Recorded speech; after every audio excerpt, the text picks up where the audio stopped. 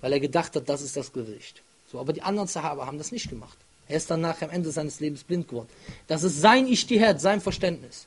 Manche Gelehrte sagen, dass Ibn Umar die Hand genommen hat. Guck mal jetzt, guck mal jetzt das Verständnis, dass er die Hand genommen hat vom Bad, das ist sein Ijtihad. Seht ihr, ich nehme auch die Hand. Aber diese Sache, da sagt zum Beispiel Sheikh Albani, rahimullah, er sagt, Ibn Umar ist auch derjenige, der den Hadith über das Bartwachsen, einen Hadith darüber überliefert. Und derjenige, der den Hadith überliefert, der weiß am besten das Verständnis von diesem Hadith, was damit gemeint ist.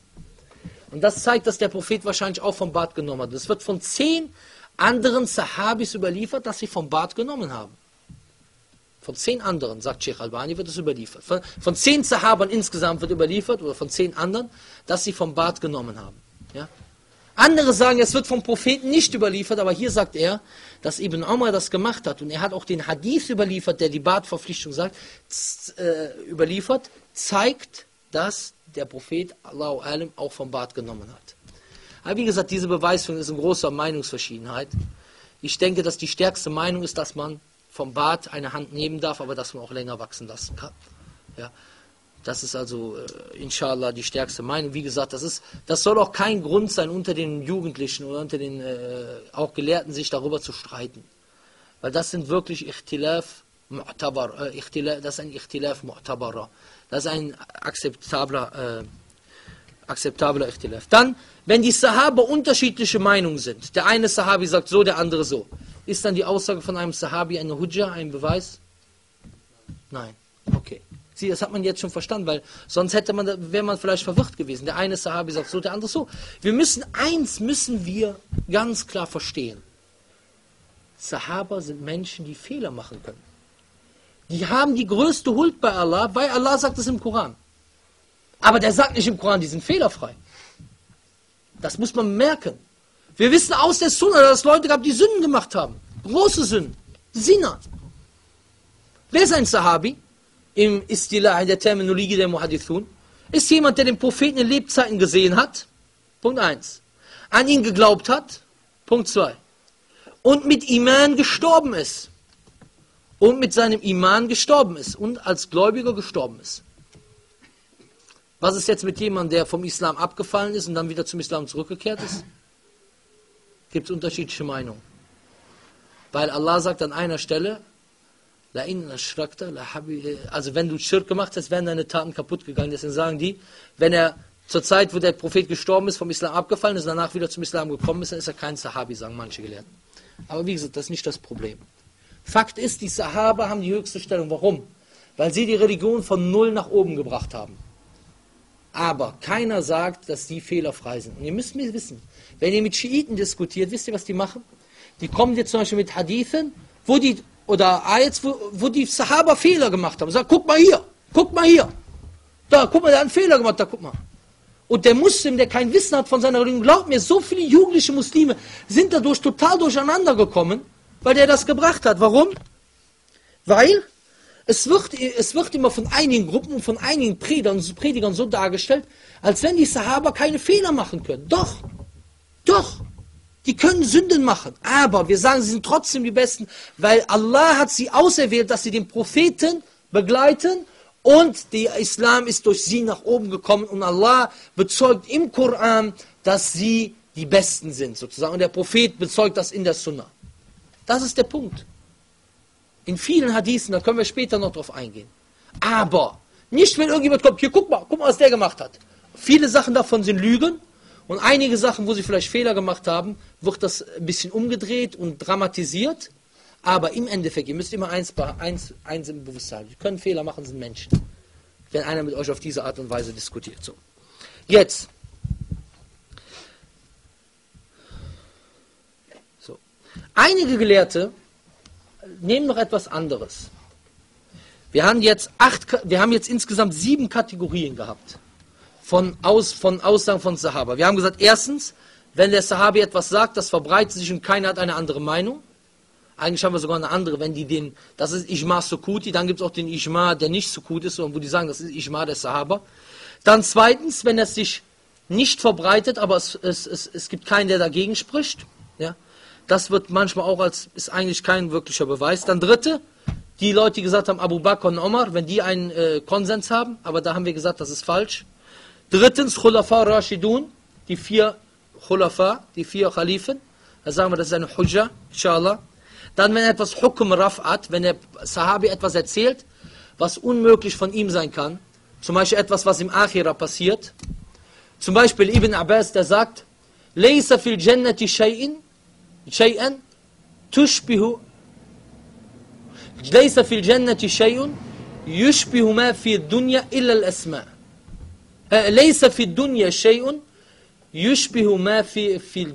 Al-asma. Es gibt nichts im Diesseits, was dem, was im Jenseits ist, ähnelt, außer die Namen. Der redet über Sachen, die im Verborgenen sind.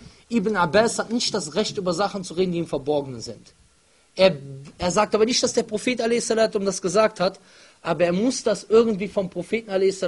vermittelt bekommen haben. Okay, das wäre zum Beispiel Hukum Raf. So, jetzt. Weiter. So, jetzt kommt, dann kam der Ishtihad der Sahaba, haben wir gesagt, das ist keine Husha. Dann, wenn die Sahaba unterschiedlicher Meinung sind, haben wir gesagt, das ist auch kein Beweis. Dann, wenn, der, wenn man kein Urteil findet. Manche Gelehrte haben gesagt, wenn man zum Beispiel kein Urteil findet, man versucht ein Ishtihad zu machen. Man weiß jetzt zum Beispiel nicht, ja, wie mache ich das jetzt bei der Umrah? Mache ich dieses oder jenes? Ja? Sage ich zum Beispiel das oder sage ich das nicht? Man findet kein, kein Urteil für seine Sache. Dann sagen manche Gelehrte, dann nehmen sie den Kaul von Sahabi am liebsten. Weil sie haben ja sonst keine Möglichkeit. Sie haben weder ein Koranfest, noch eine Sunna, noch ein Kiyas, noch eine, äh, so dann sagen sie, wir nehmen die Aussage vom Sahabi. Weil die Wahrscheinlichkeit, dass das, was der Sahabi hat, richtig ist, weil die groß ist. Weil sie erstens die waren, die die arabische Sprache am besten verstanden haben, weil sie zu der Zeit gelebt haben. Und weil sie vielleicht, weil die Möglichkeit besteht, dass sie irgendetwas vom Propheten wassalam, gesehen haben. So. So. Dann gibt es noch solche Beispiele. Zum Beispiel, ich gebe euch jetzt ein paar Beispiele. Ibn Umar wird überliefert, dass er zuerst auf die Hände gegangen ist, wenn er Sujud gemacht hat. Wird im Bukhari überliefert, von Ibn Umar. Von Ibn Mas'ud wird überliefert, dass er zuerst auf die Knie gegangen ist. Ist das eine Hujja?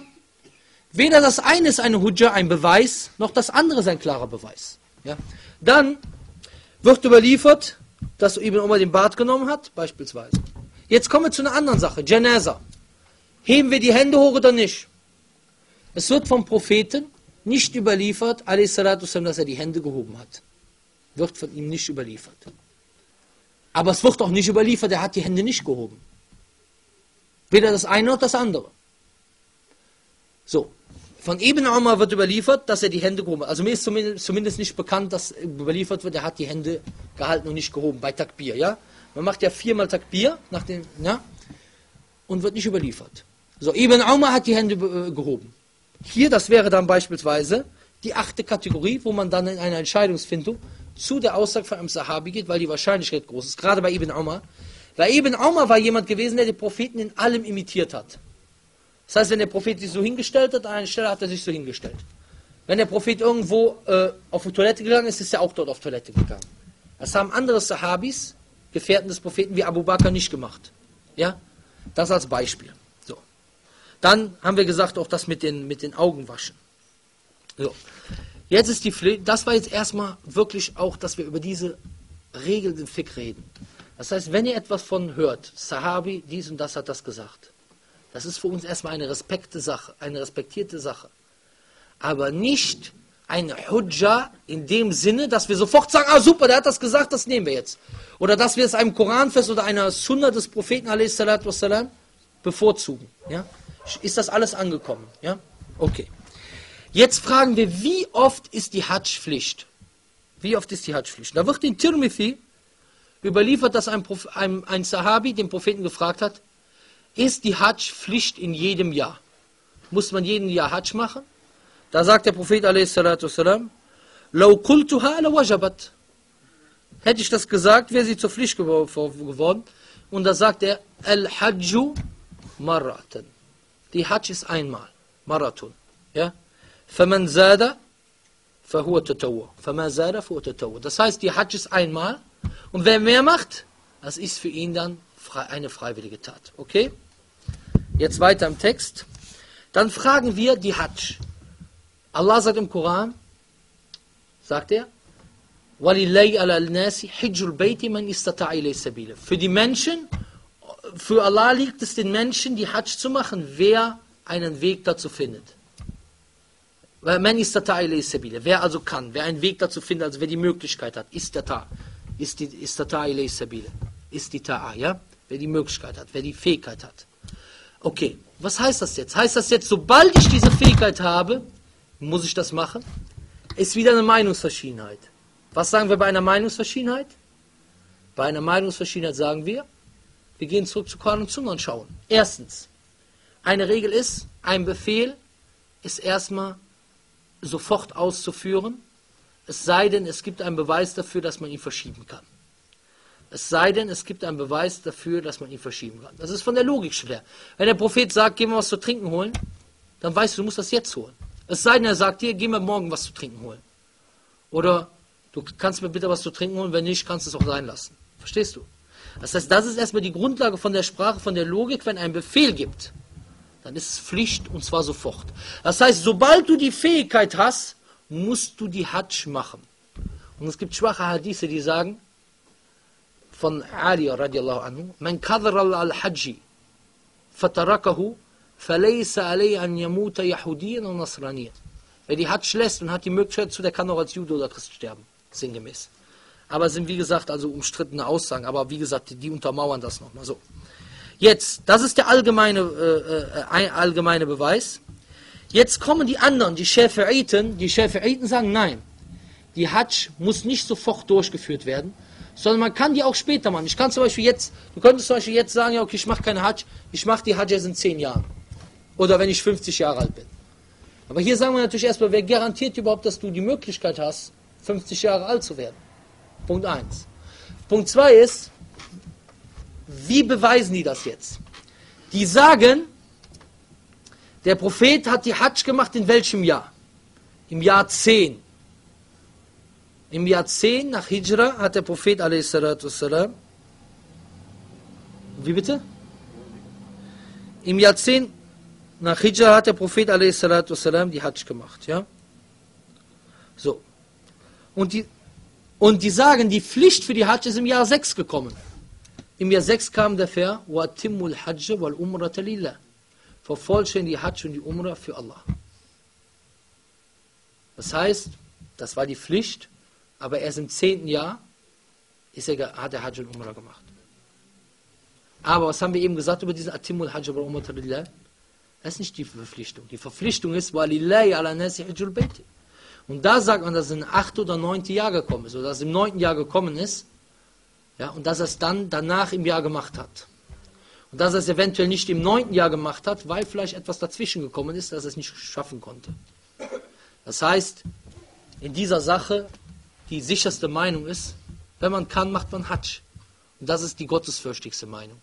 Und immer in solchen Sachen, wo es eine Meinungsverschiedenheit gibt, wenn es eine Meinungsverschiedenheit gibt, nimmt man immer die sicherere Meinung, wo man auf der sicheren Seite ist, es sei denn, das ist mit Mashakra verbunden, mit einer großen Schwierigkeit ja, oder mit Wes-Wes.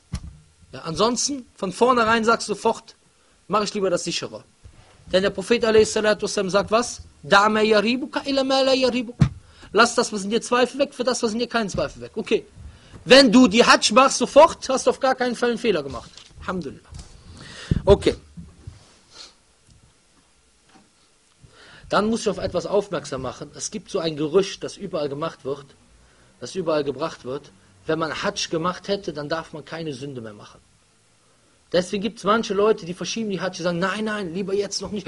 Hast du jetzt schon Hajj gemacht? Boah, du bist doch erst 20 Jahre alt, du bist doch erst 22. Stell mal vor, alle Sünden, die du jetzt machst, die zählen doppelt. Das ist totaler Quatsch. Erstmal, du machst keine Hajj, damit du Sünden machst, sondern du machst Hajj, damit du deine spirituelle Ebene erhöhst und dich von Sünden fernhältst, damit du deine Seele reinigst. So. Und Fehler macht jeder. Fehler macht jeder. Das heißt, wann willst du denn die Hatsch machen? Dann kurz bevor du tot umfällst oder wie? Das heißt, es ist totaler Quatsch. Das ist ein Bittenmärchen. Das habt ihr bestimmt, hat bestimmt schon jemand von euch gehört, oder? Wer hat das gehört von euch? Das ist, boah, guck, fast jeder. Das wird überall erzählt. Wenn du Hatsch gemacht hast, dann darfst du keine Sünde machen. Du darfst sowieso keine Sünde machen. Aber der Mensch macht Fehler. Der Mensch macht Fehler. Aber die Hajj ist ja dazu da, dass du dich verbesserst. Und wann willst du dich verbessern, wenn du die Hajj nicht machst? Wie willst du dich verbessern und wann willst du dich verbessern? Okay. Es gibt in der Scharia verschiedene Bedingungen. Erstmal Bedingungen für die Pflicht. Die Bedingung für die Pflicht ist bei der Hajj und bei der Umrah fünf Dinge. Bedingung Nummer eins, dass du Muslim bist. Die Hajj kann nur für einen Muslim Pflicht sein. Für den Käfer ist die Hajj keine Pflicht. Der kann ja gar nicht nach Mekka rein.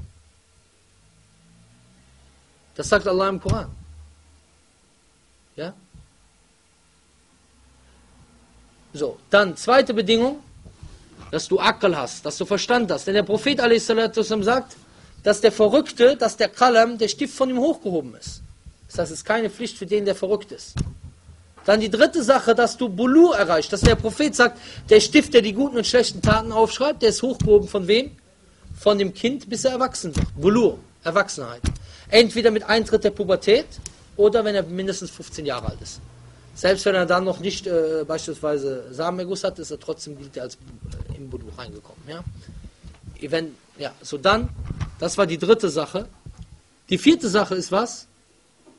Ähm, Huria. Heutzutage, guck mal, die, die haben alles, dass man kein Sklave ist.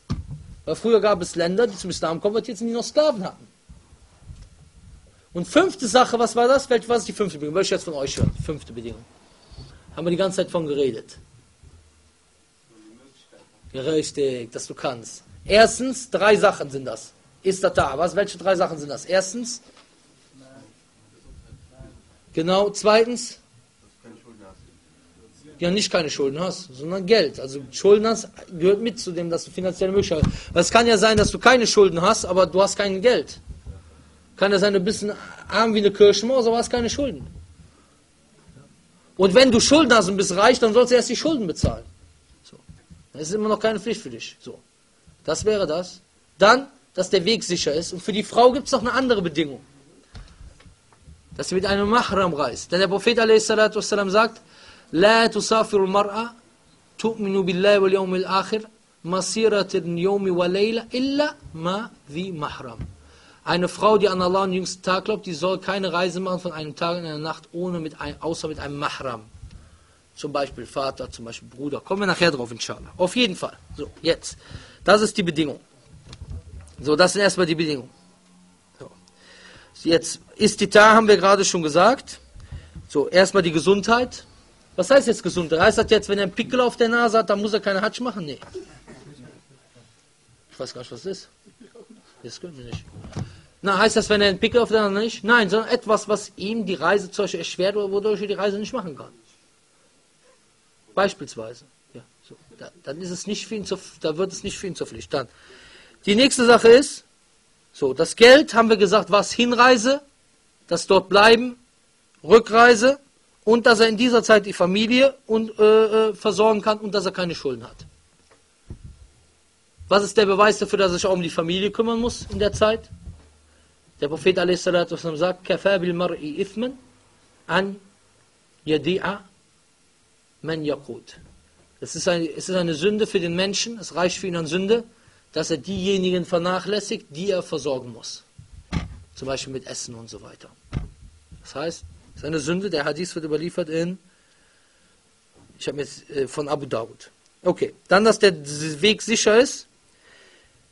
Viertens, dass die Frau einen Mahram hat. Haben wir gesagt. Was ist der Beweis dafür? Wir haben diesen Hadith eben genannt. Der sagt, die Frau darf nicht reisen ohne Mahram. Es gibt aber unterschiedliche Meinungen in dieser Sache. Unterschiedliche Meinungen. Es gibt noch einen anderen Hadith, wo ein Mensch zum Dschihad ziehen will und seine Frau geht zur Umrah. Und der Prophet a.s. sagt zu ihm, mache mit deiner Frau Umrah, äh, zu, zur Hajj geht die, mache mit deiner Frau Hajj. Jetzt sagen wir, ist dies ein klarer Beweis? Nicht unbedingt. Nicht unbedingt, weil er hat nicht gesagt, du, oh, das ist haram, du lässt die Frau, du darfst die Frau nicht alleine zur Hajj gehen lassen. Sondern er sagt nur, geh mit ihr. Mach mit ihr. Das ist eigentlich kein klarer Beweis. Der klare Beweis wäre, sie darf nicht reisen.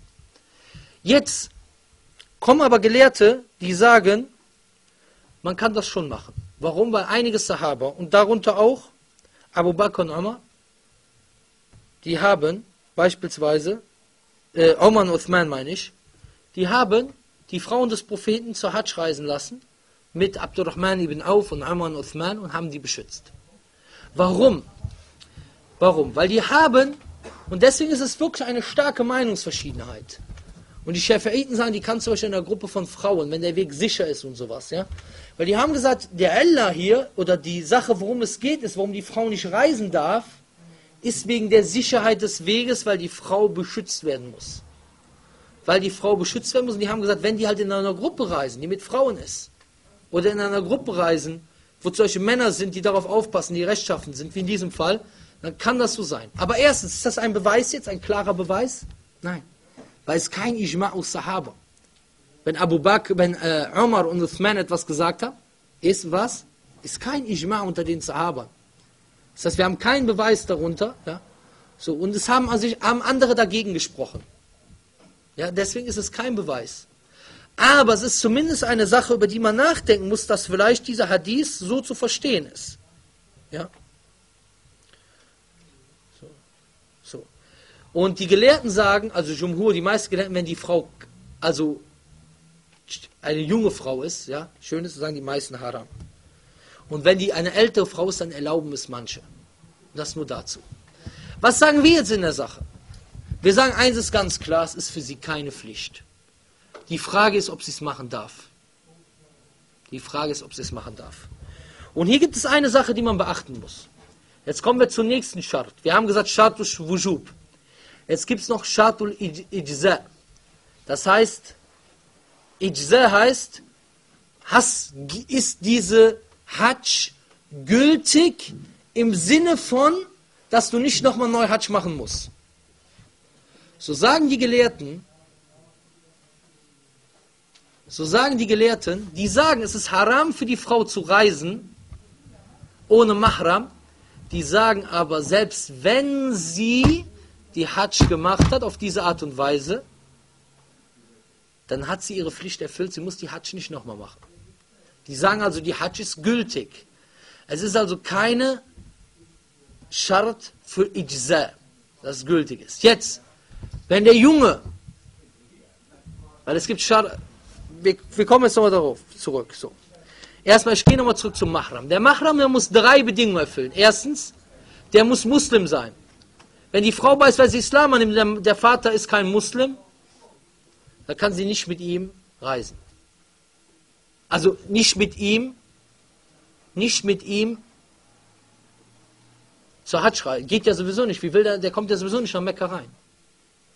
Aber man sagt beispielsweise, wenn der Vater ja, der ist Muslim und der, der ist nicht Muslim, aber der ist so vertrauenswürdig, der beschützt die Frauen und so.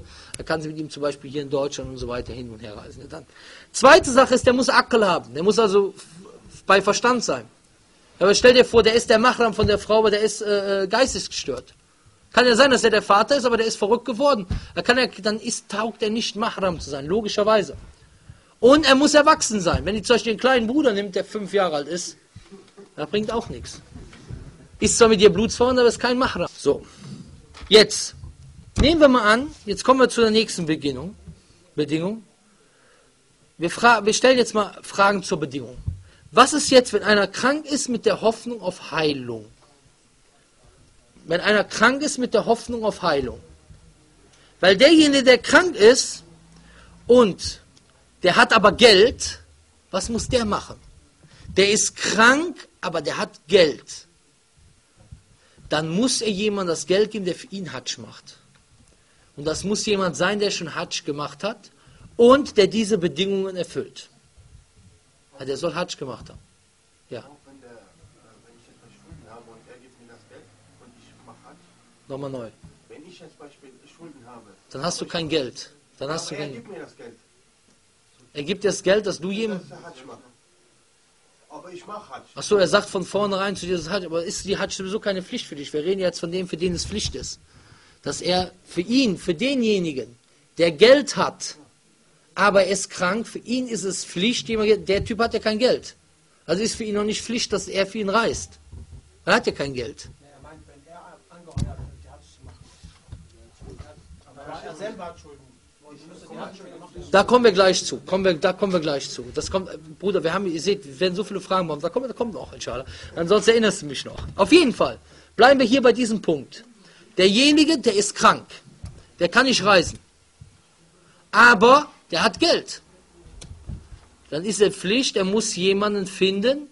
Natürlich, wenn er keinen findet, la yukallifullahu nafsan illa wusaha, arbeitet keiner Seele auf, was ich dran Dem er das Geld gibt, der für ihn Hajj macht und der muss schon die Hajj gemacht haben. Denn einmal war jemand, Frau oder Mann, die hat gesagt, Lebeika an Shubrama. Ich, Lebeik, also Hajj, sozusagen, also dir diensten Allah für Shubrama. Dann sagt er, wer ist Shubrama? Dann sagt er, ja, ich mache für ihn Hajj. Hast du schon selber Hajj gemacht? Nein, dann mach erst Hajj für dich und danach für Shubrama. Das heißt, du musst selber, muss derjenige die Hajj gemacht haben. Okay, jetzt dazu. Dann, jemand ist krank und hat Hoffnung auf Heilung und er hat Geld. Was mit dem? Hier sagen die Gelehrten, er soll warten, bis er gesund wird. Also er kann nicht einfach das Geld jemandem geben, der für ihn Hatsch macht, weil er, zum Beispiel, der ist heute krank, der ist heute im Krankenhaus, der hat irgendwie äh, das Bein gebrochen oder was auch immer. Dann sagt er nicht, oh ja, jetzt gebe ich dir das Geld, du machst für mich Hatsch. Sondern er wartet, bis er es selber macht. Dritte Sache, also kranker Bereich, haben wir schon gesagt. So, und jetzt jemand ist krank und mittellos, der ist weder gesund, der, ist, der hat kein Geld, um zur Hatsch zu gehen, und der ist krank. Was mit dem? Muss der Hatsch machen? Nee, der kann ja auch keinem das Geld geben der kann ja nichts machen.